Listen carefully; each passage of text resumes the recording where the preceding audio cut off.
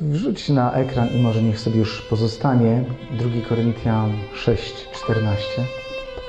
Mówiłem tydzień temu o obcym jarzmie.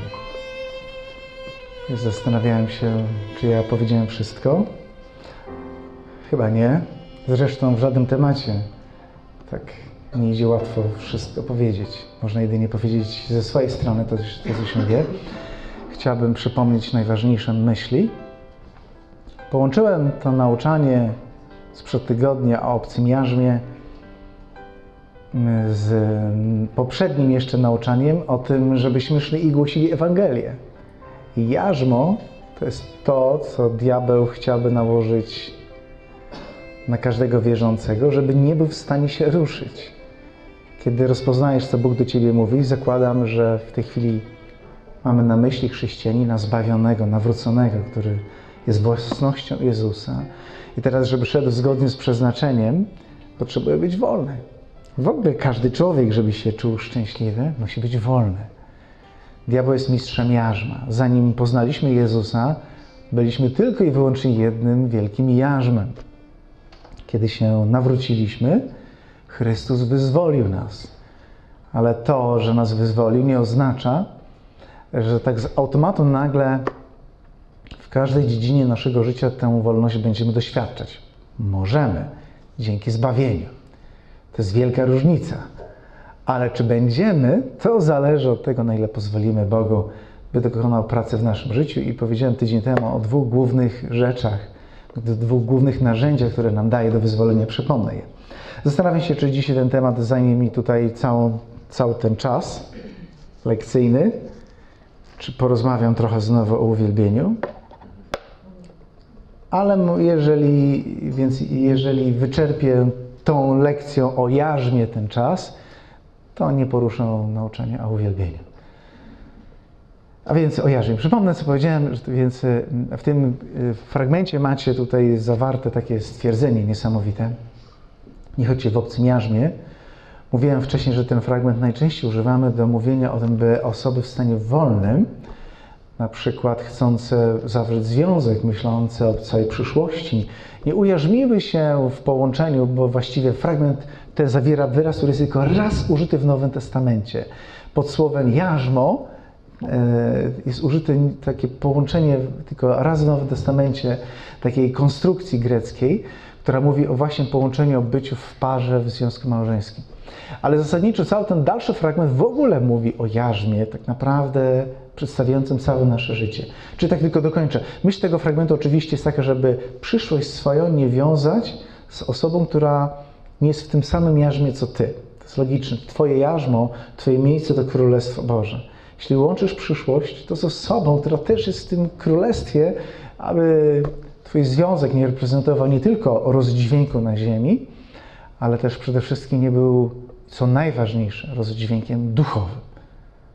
To jest bardzo poważna rzecz. Ty jesteś częścią ciała Chrystusa, jako zbawiony, byś nie łączył swojego życia z kimś, kto nie jest w tym ciele, a jeśli nie jest w tym ciele, to jest w jakim. Tak. Na ziemi mamy albo Kościół, który jest ciałem Jezusa, jeden, jedyny, prawdziwy Kościół, niewidzialny, albo stanowimy część Królestwa Ciemności. Cały dalszy ten fragment jednakże mówi o czymś szerszym. Ja dzisiaj nie mówię o tej, tym wątku małżeńskim, absolutnie to, to, to zostawiam, to nie jest mój temat, tylko przede wszystkim coś, nie musisz otwierać, ale fragment Galacjan 5.1 mówi, że Chrystus wyzwoli nas, byśmy nie poddawali się pod jarzmo niewoli.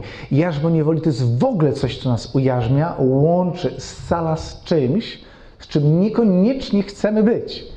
Każdy człowiek bez Chrystusa jest ujarzmiony na różne sposoby, ale my jako chrześcijanie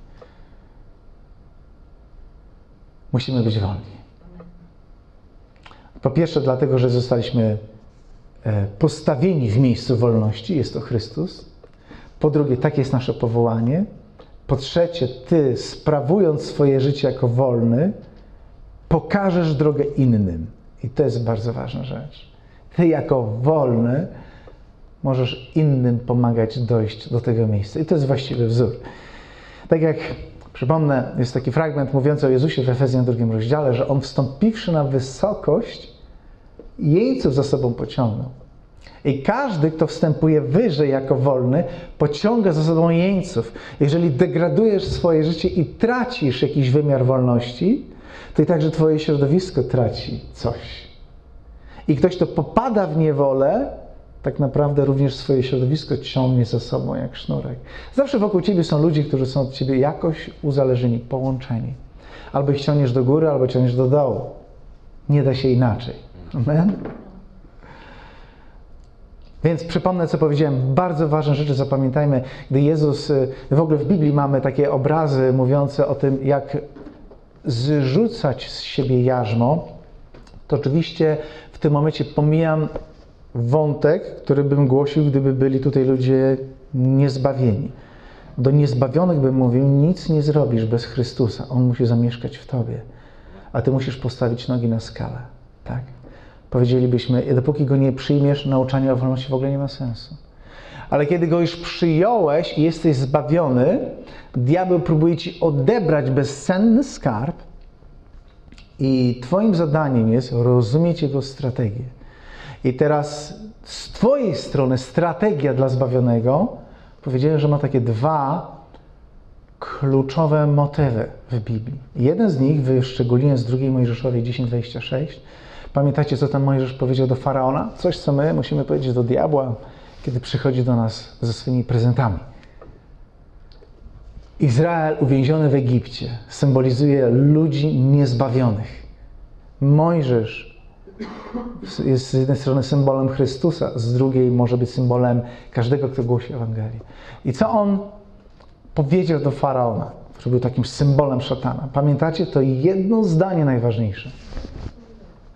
A. To już nie jest mowa o strategii. No tak, ciebie nie było tydzień temu, dlatego masz prawo nie pamiętać. Więc do tych, którzy byli tydzień temu, Kopyto. ostatnie kopyto. Oto się diabeł licytuje. Kiedy jesteś zwycięzcą i diabeł już wie, że ciebie nie zatrzyma w Egipcie, że już nie pozostaniesz bez Boga, to on jako spryciarz nie będzie cię namawiał odejść od Boga. Chyba, że znajdziesz się w tak słabym miejscu. Ale jeśli jesteś mocnym chrześcijaninem, on będzie z tobą walczył o kopyta, o małą rzecz, o jakąś, jak to się mówi, kawałek czegoś, o paznokieć, żebyś coś zostawił, co nie jest aż tak istotne i będzie cię przekonywał, że to nic takiego. Tak jak dla przykładu, to bardzo dobre przykłady z dziedziny alkoholizmu.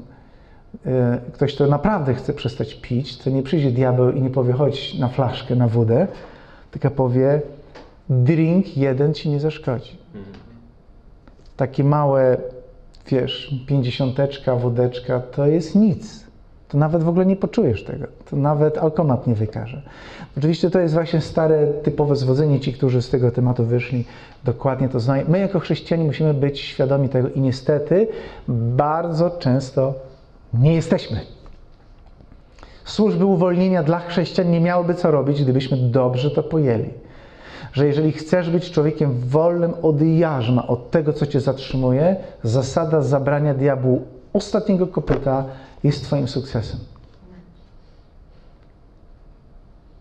To oznacza, że kiedy łamiemy jarzmo, może się okazać, że największą twoją przeszkodą w dojściu do pełnej wolności jest rzecz najmniejsza, którą tolerujesz.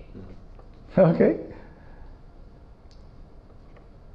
Niezbawiony ma wielki problem i trzeba go złamać, ale zbawiony ma maluśki problem, który toleruje i wynegocjował z nim diabeł, żeby to zostawił.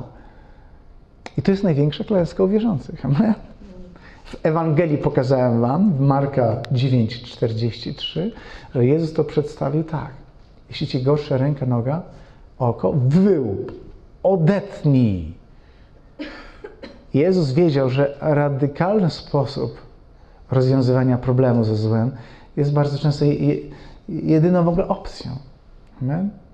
I jeżeli tej mądrości się nie nauczymy, to możemy oczywiście być dalej chrześcijanami, którzy są zbawieni, trafią do nieba i przejdą jakoś przez życie i nie ma zasadniczo problemu większego.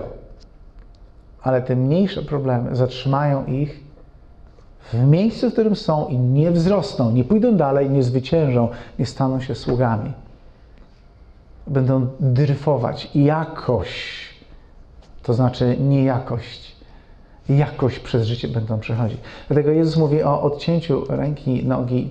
Dlaczego tak? Dlatego, że czasami nie da się do końca złamać jarzma niewoli.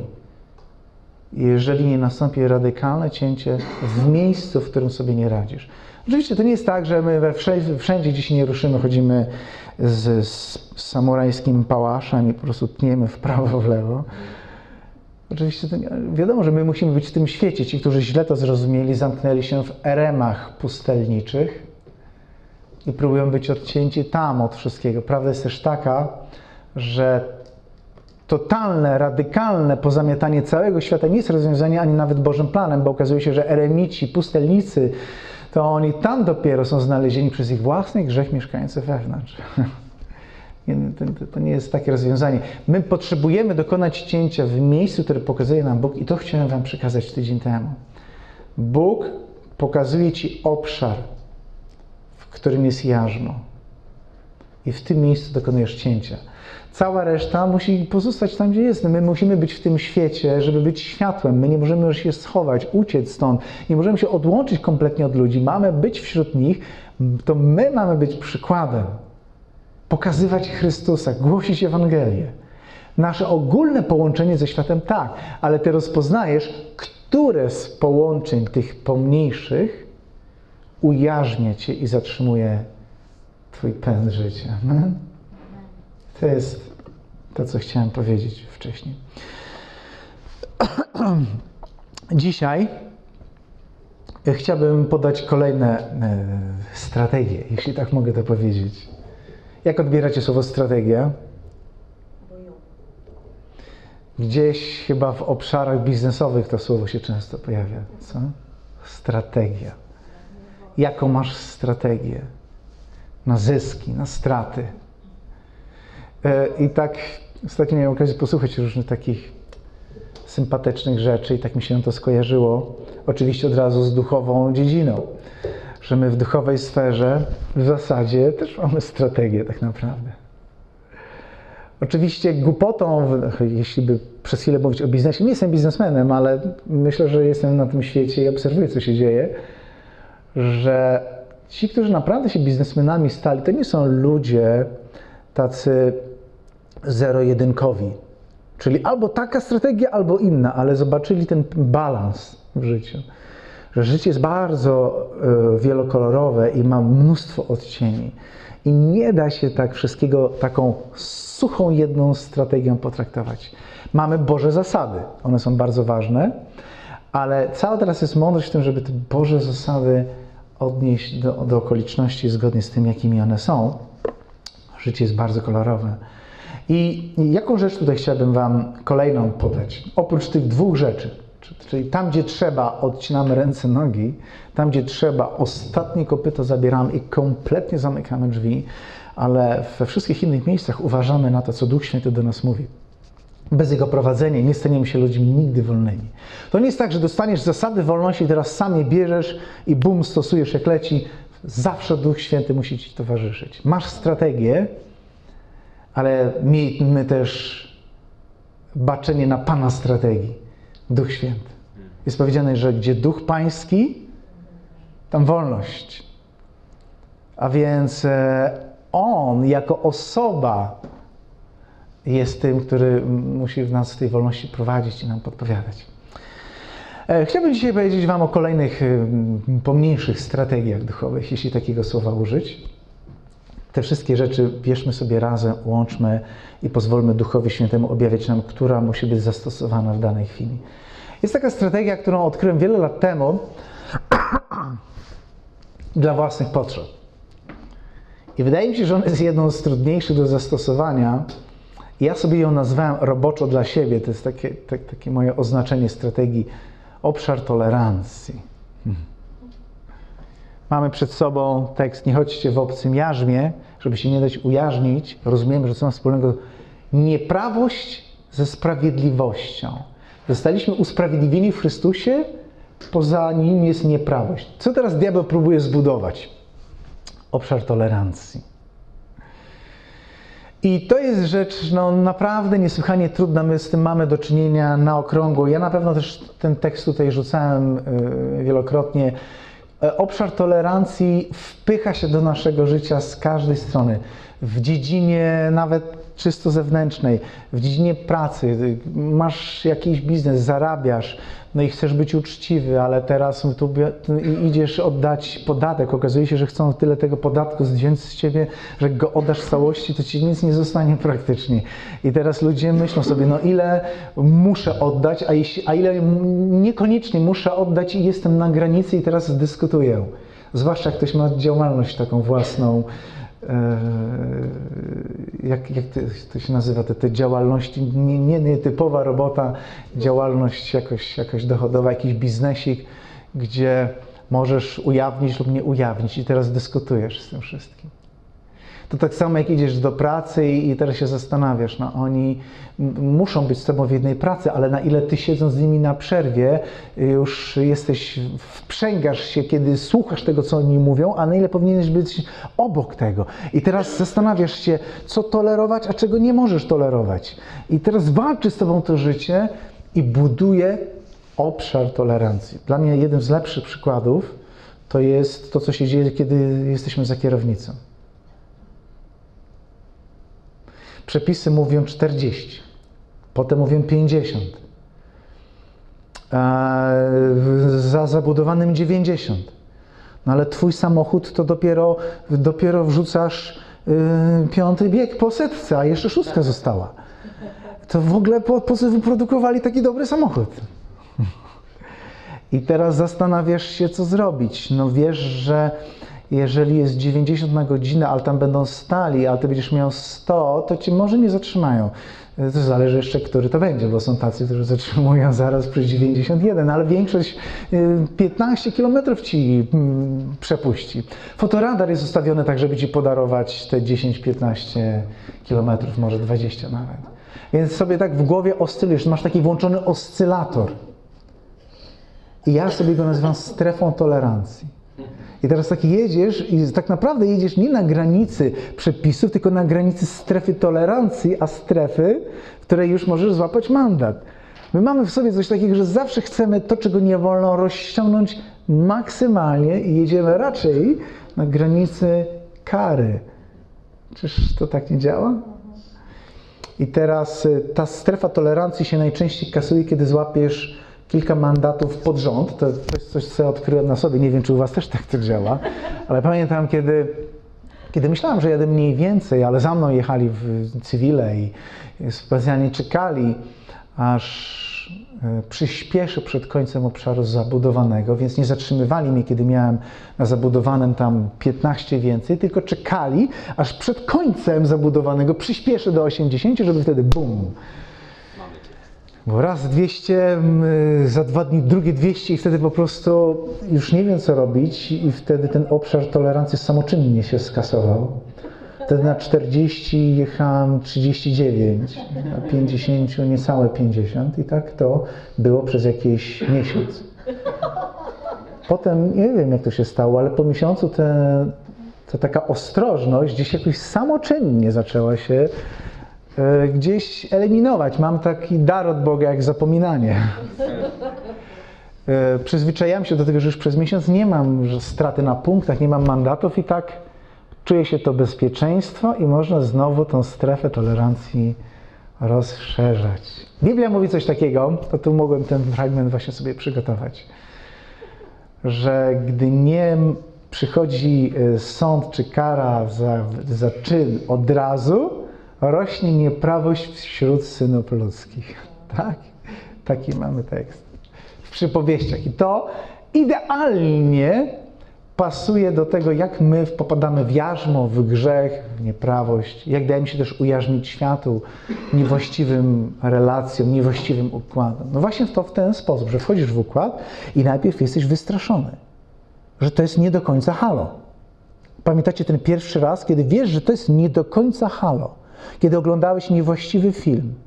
Pierwszy raz był taki, ten film nie był taki straszny, ale też nie był taki do końca, jaki ty jako chrześcijanin powinieneś oglądać. I teraz nie wiesz, czy go oglądać, czy nie. Pierwszy raz, czy to był horror, czy taki nie całkiem moralny film, ale nie taki straszny też. W zasadzie i opatrzysz na niego, czujesz dyskomfort, ale nic się nie dzieje. W grzech nie popadasz. Diabeł cię za włosy od razu nie złapał. Zasadniczo normalnie funkcjonujesz, nie? I wtedy ten pierwszy taki dyskomfort, ten, te wyrzuty sumienia, okazało się, że nic y, ci takiego złego nie dały, więc czujesz się rozluźniony, żeby następny raz już bez aż takich wyrzutów te same rzeczy zrobić. Nie? Tak to działa. I tak rośnie strefa tolerancji, a należy to nazwać jeszcze kolejnym innym określeniem, które też polubiłem. Nie pamiętam z czego, z jakiegoś fajnego filmu o tuczeniu szczurów. Oglądałem kiedyś, jak, jak pracuje szczurowat, że on te szczury tuczy najpierw. Tuczy przez długi czas. Specjalista, zawodowiec. Jeśli on jest zatrudniony przez firmę, gdzie się zaległy jak to teraz działa, ale tak było wcześniej, to on najpierw, żeby wszystkie szczury wytłuc, musiał mieć bardzo dobrą strategię. On nie mógł najpierw powybijać kilku, bo reszta by się pochowała. Albo zatruć od razu pierwszą gromadę, bo reszta by się już potem tego pokarmu nie dotykała. Zresztą szczury są tak perfidne, normalnie jak piekło. Że kiedy jest pierwszy raz pokarm trefny, są niepewne, jakiś szczurzy król wysyła coś na straty. Jakiegoś szczura, który zje i inne obserwują, czy on nie zdechnie po tym. Co za gady normalnie. Gryzonie. Perfidne jak nie więcej. I taki profesjonalny szczurołap, on jest świadomy tej strategii szczurze, więc on najpierw daje im pokarm, który jest zjedzony sprawdzalnie, nie cały, nie przez wszystkie. Ale one nabierają zaufania. Potem on, kiedy wychodzi już tam w tej firmie jakiejś, czy to będzie rzeźnia, czy, czy, czy jakaś tam hurtownia żywności, to one już praktycznie wybiegają na spotkanie i oczekują tego pokarmu. I dopiero przychodzi ten krytyczny moment, kiedy bum, wszystko zatruje i też nie wszystkie szczury zjedzą, nawet kiedy się przyzwyczają do niego. Nie wszystkie zjedzą. Zawsze pewne e, jakieś ostatki zostaną, które nie do końca są ufne i wtedy oni wystrzeliwuje już w pojedynkę. I tak diabeł tuczy i u, uwodzi i ujarzmia chrześcijan. Nie ma mocy nad nimi, ponieważ Chrystus wyzwolił nas. Ponieważ pokonał diabła, rozwalił jego moc ciemności na Golgocie i poddał go pod nasze stopy. Miejsce szatana jest pod naszymi piętami, by zmiażdżyć mu głowę. Więc on nie ma mocy nad nami. To, co jedyne mu pozostało, to oszukiwać, zwodzić i kłamać. Dlatego Jan 8,44 mówi, że on jest ojcem kłamstwa. I kiedy przychodzi, żeby kraść, zarzynać i wytracać, to jeśli chodzi o nas, to jego głównym fortelem jest oszustwo. Kłamstwo. I sprawienie, żebyś ty przez kupienie jego kłamstwa sam otworzył gdzieś w swojej głowie, w swoim sercu jakieś drzwi, przez które on założy wędzidło. I potem będziesz czuł, że już to cię cały czas ciągnie do niego coś. Co najpierw musisz oczywiście kupić. To, co cię ciągnie, Jezus mówi, możesz odciąć, odcinając rękę, nogę lub zabierając ostatnie kopyto z jakiegoś układu, ale jeśli nie wiesz, jak to zrobić, to tutaj jest kolejna podpowiedź. Strefa tolerancji. W strefie tolerancji diabeł najpierw cię karmi. Wchodzisz w niewłaściwe rzeczy i jest czysta radość. Demoniczna. Początkowe wyrzuty sumienia ustępują. Rozsiadasz się w tym, co nieprawe. Potem bierzesz tego więcej, zupełnie jak w strefie narkomanów. Pierwszy raz gratis, drugi, trzeci też. Ja nie, nie zapomnę tych historii ludzi, którzy modlili się o uwolnienie na przykład z nikotyny. Właśnie zostali uwolnieni. Mówię teraz o świadectwach ludzi, którzy tkwili długo w nałogach, położyliśmy ręce, doświadczyli spektakularnego uwolnienia i powiedzieli: Wow, to szok, w ogóle nie ciągnie mnie, nie muszę pić, nie muszę palić, jest dobrze. I wtedy zaczęły dziać się cuda. Właśnie demoniczne. Opowiada mi taki gość, że wchodzi do bramy gdzieś tam na podwórku. Mniejsza o to po co? I patrzy, nówka, paczka papierosów zapakowana. Powiedział, no nie pamięta, żeby coś takiego się zdarzyło, ale w momencie, kiedy właśnie został uwolniony, to się dzieje. Kiedy właśnie został uwolniony, od alkoholu, właśnie koledzy przychodzą do niego i stawiają mu za darmo, a wcześniej to musieli się dzielić. Więc diabeł buduje strefę tolerancji, fundując tobie nieprawość i pilnując, żebyś nie miał konsekwencji, żeby Twoja czujność została uśpiona. I wtedy, kiedy rozrośnie nieprawość w Tobie, przychodzi dzień uboju i nagle zastanawiasz się, dlaczego tak głęboko upadłeś. I czemu tak nagle? Nic nie było nagle, to Ty tak myślisz, bo zostajesz zwiedziony. Ale szczurołap pracował nad Tobą, budował długo, pracował na dzień uboju z Tobą, budując strefę tolerowania. I nagle przyszło zginienie i sąd i upadek. Pomyślcie o tym, zapamiętajcie to, dlatego kiedy zaobserwujecie też wokół siebie to zjawisko nagłego, głębokiego upadku, nigdy już nie dajcie się nabrać, że to było nagle. Tylko zastanówcie się, jak byli utuczeni, a jeszcze co jest ciekawe, to co ich tuczyło i szykowało, co rozszerzało strefy tolerancji, to jest związane również z ich przekonaniem, związane z układami, związane z pewnym stylem. Dlatego u osób, które upadły, legły i leżą, jeśli do tego nie mogą się podnieść, szukajcie tego, w co uwierzyli i gdzie zostały zbudowane ich tolerancje, bo tam będzie źródło i korzeń ich słabości. Amen. Ale Bóg chce całkowicie Twojej wolności. Budujmy ją dalej. Jakąś kolejną strategię jeszcze. Kolejna strategia.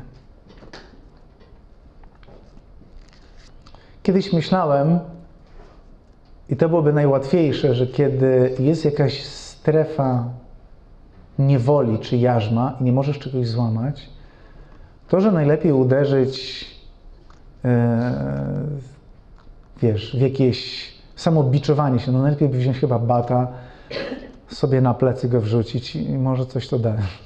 Fajnie by było, gdyby tak to dawało, to Bóg by dał nam bat do ręki, ale niestety to nic nie daje. To jest tylko ukaranie samego siebie, ale ono nie ma mocy.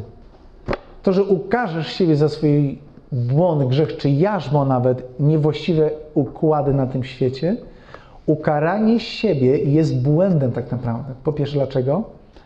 Ponieważ składasz y, ciężar kary w niewłaściwe miejsce, bo Bóg złożył ten ciężar kary na plecy Jezusa. I na dobrą sprawę wygląda człowiek taki pokornie. Bierze biczownika takiego z XVI wieku, który idzie pejczami, leje się po plecach, bo takie zło narobił.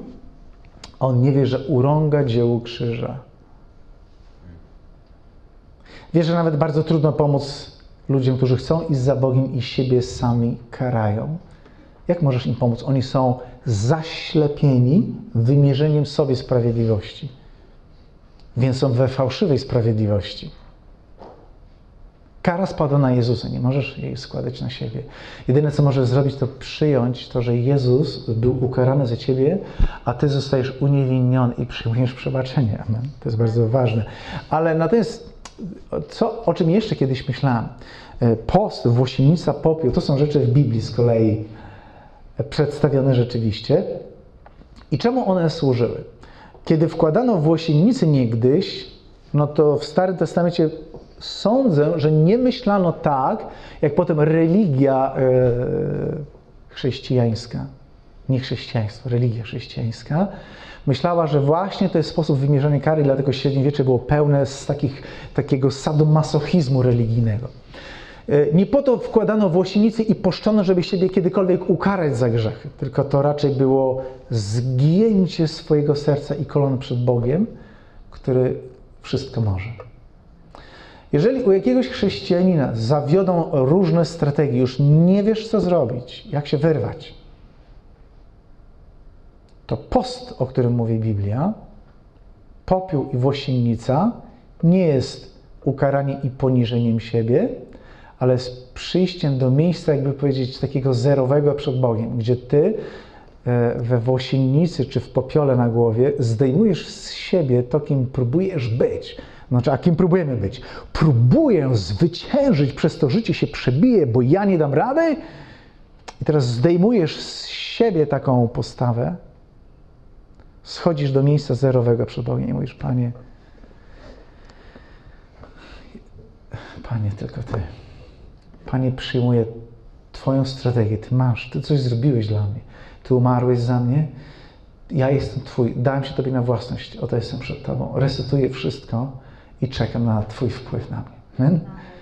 Serce złamane przed Bogiem. To o, o to chodzi w poście. Post jest dobrą strategią. Niestety nie może być jedyną. Za chwilę powiem dlaczego, ale pomówmy o tej strategii, bo ona jest bardzo biblijna i bardzo ważna.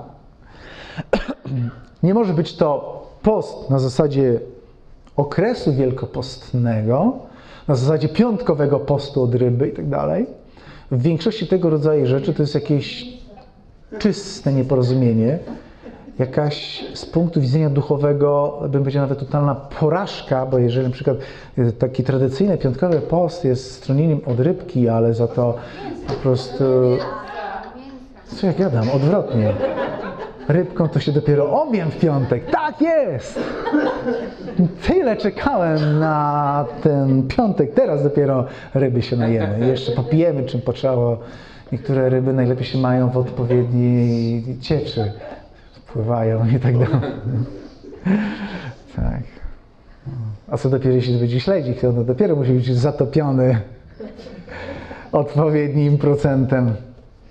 No to to jest w ogóle ja sobie myślę, że z biblijnego punktu widzenia, chociażby z pozycji księgi proroka Izajasza, taki rodzaj poszczenia, to chyba nawet prowadzi do bluźnierstwa jakiegoś.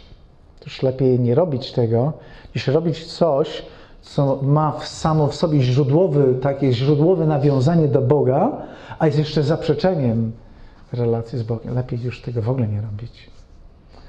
E, to, o co chodzi w poście naprawdę, co jest rzeczywiście strategią, o czym też Bóg mówił bardzo mocno w tym słynnym rozdziale Izajasza. Który to jest rozdział?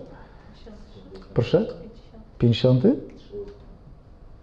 Jak ktoś znajdzie, niech rzuci hasło. To żeby tam też jest nawet użyte słowo, żeby łamać niewłaściwe jarzma.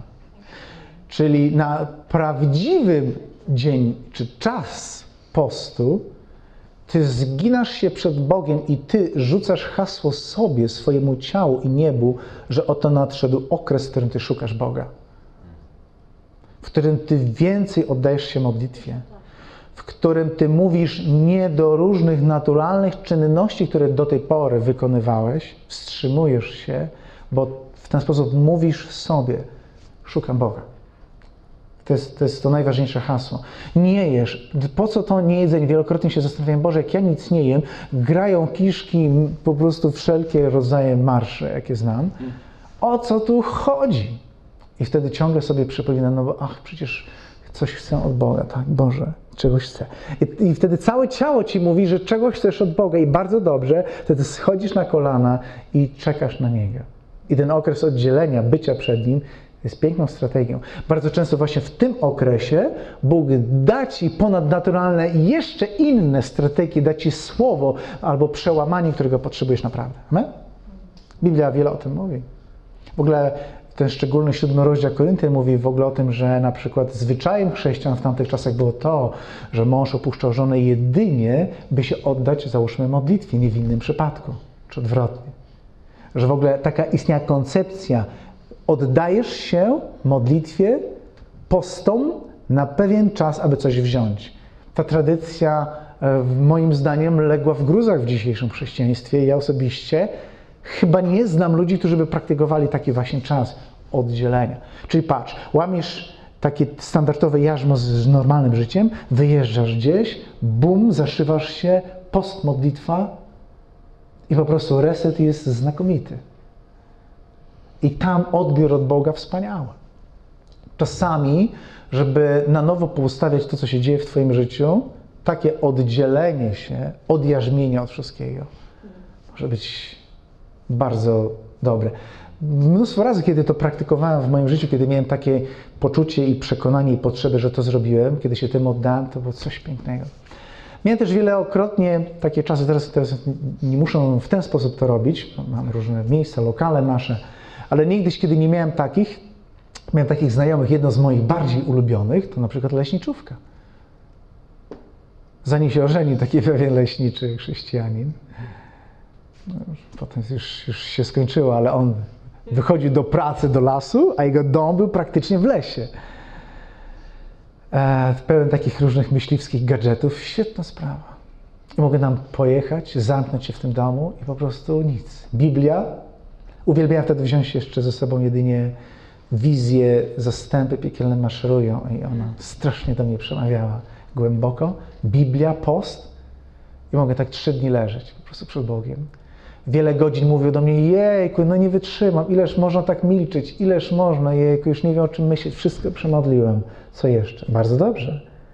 I wtedy te chwile ciszy mówią do ciebie, co tu robisz i czego szukasz. Odjarzmiasz się, wyzerowujesz, aby Bóg włączył cię w twoje rzeczy. Potem spacer po lesie, powrót i znowu modlitwa i Biblia. Wow.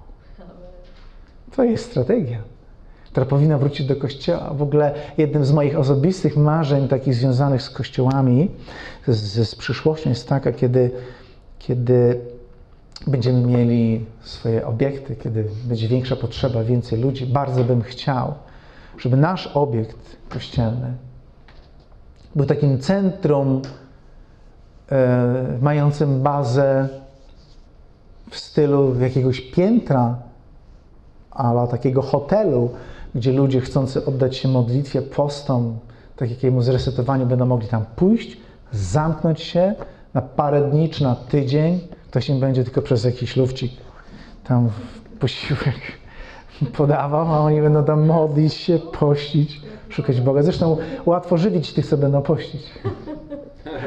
Chleb i woda, tylko proszę, nie widzimy się. Szukaj Pana tam. Strategie bardzo dobre. Bo wiesz, bo to tak często jest, że kiedy jesteś ujarzmiony przez coś, to nie potrafisz się od tego oderwać, bo ciągle jesteś w tym pędzie.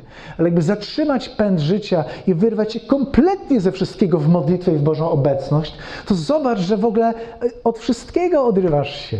Łatwiej potem ci tam rozstrzygnąć, do czego wrócić, do czego nie. Amen? No, więc e, o czym ja to mówiłem? Strefa tolerancji. E, potem powiedziałem o poście modlitwie w Osienicy. Tylko jeszcze czasem jak czytam Stary Testament, pomyślałem, że nasze posty no już nie wyglądają tak jak w Starym Testamencie. Zastanawiałem się, co to za popiół sypali na głowę. Czy brali go z pieca, taki, wiesz, wypalony, a, co to była za włosienica? To było ciekawe. No. My nie praktykujemy tego, bo by nas wywieźli w kaftanie. Zobaczyliby sąsiedzi ciebie, jak wychodzisz ze śmieciami na podwórku we włosienicy, w popiele na głowie, w poście. Wezwaliby służby specjalne. Faktycznie tak nie robimy. Nie wiem czemu. Ciekawe, jakie to byłyby doznania. No nie praktykowałem tego. Mam ileś worków w piwnicy i zastanawiam się, może wyciąć tam otwory na ręce. Żona z pracy wraca, by się wystraszyła. Co to tutaj się dzieje? Stwór w piwnicy straszy. No tak. Idźmy dalej, bo tutaj widzę wyobraźnię, zaczyna fikołki robić.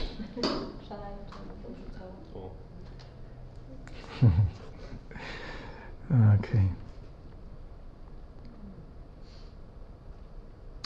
Um, może bym tylko dodał na zakończenie tego elementu z tą włosienicą, postem i modlitwą e, w jakimś od, osobnieniu, że to można połączyć z tym, o czym jest napisane w Hebrajczyków w 12 rozdziale, że wy nie opieraliście się jeszcze aż do krwi w walce z grzechem.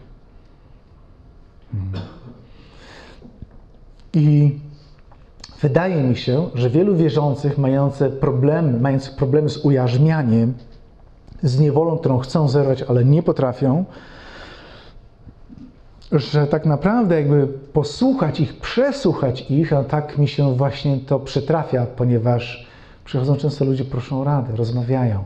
No mówię, no z kim mam porozmawiać? No z pastorem pójdę porozmawiać już. Jak sobie nie daję rady, idę do pastora. Pójdę do tego, do tamtego, więc przychodzą, rozmawiają i wtedy odkrywam w rozmowie, że bardzo często te osoby nie opierały się aż do przelania krwi. Oczywiście nie chodzi o rzeczywiście upuszczanie sobie krwi dosłownej, tylko chodzi o walkę, która rzeczywiście jest aż do krawędzi Twojego życia. To znaczy, że nie zależy ludziom aż tak bardzo, aż tak bardzo. W biznesie, w pracy są gotowi się bardziej zabijać. Ale nie o to, żeby osiągnąć coś z Bogiem. No dobrze, i może ostatnią rzecz na dzisiaj. Hmm. Która pasuje bardzo dobrze do drugiego tematu. Hmm. Powiedziałem, że jak zdążę, to będę mówił o uwielbieniu, ale nie sądzę, że zacznę drugi temat. Ale poruszę strategię, która połączy się z tym, o czym może powiem za dwa tygodnie. Że jedną z najbardziej znakomitych strategii, żeby pokonać grzech, to jest uwielbienie.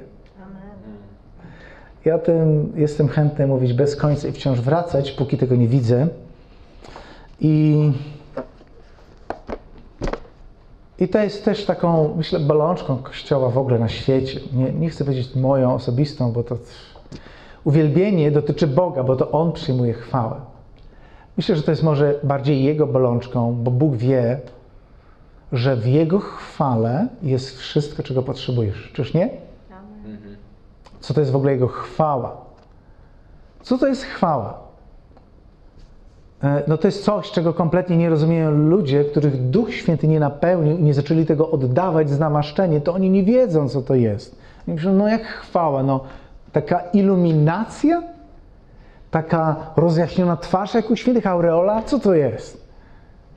Chwała, taki splendor, w którym zwycięzca wjeżdża na arenę, wszyscy biją brawo, sypią się te świecidełka, lampy na niego, reflektory, świecą chwała, wow, padajcie do stóp.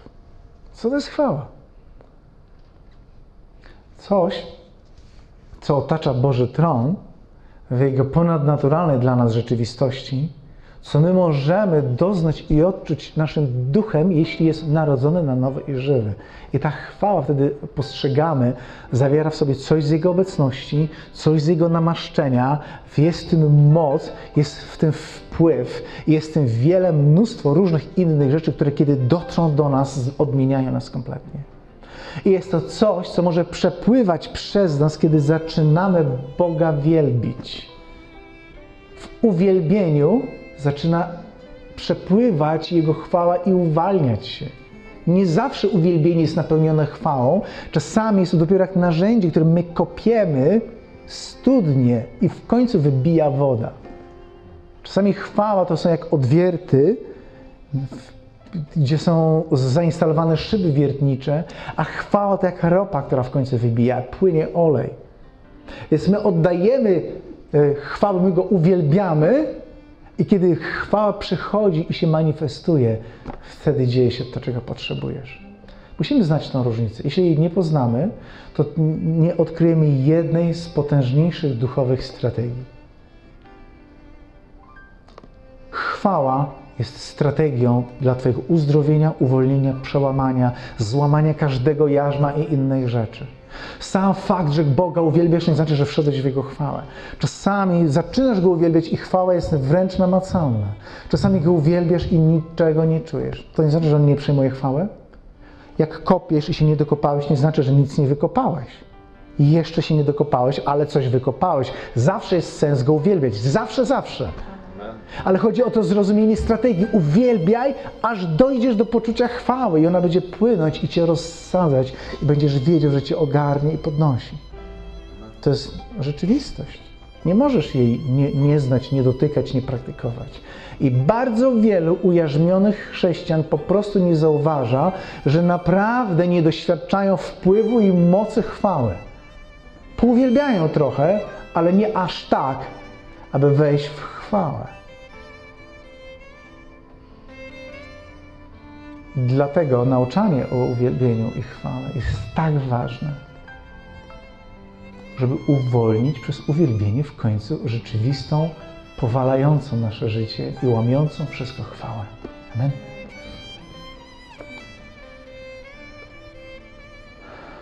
Dziękujemy Ci, Panie, że jesteś naszym Bogiem, który daje nam wszystko, czego potrzebujemy. A my chcemy to wziąć, nie dać się ujarzmić ani okraść Dziękujemy za wszystko, co przygotowałeś dla nas. Dziękujemy absolutnie za wszystko. Przyjmujemy to, zgadzamy się. Chcemy wziąć całą Twoją mądrość i strategię, którą przynosisz do nas w swoim słowie, w Duchu Świętym, w Kościele, przez innych. Chcemy to wziąć i być mądrzy i tylko zwyciężać. W imieniu Jezusa. W imieniu Jezusa.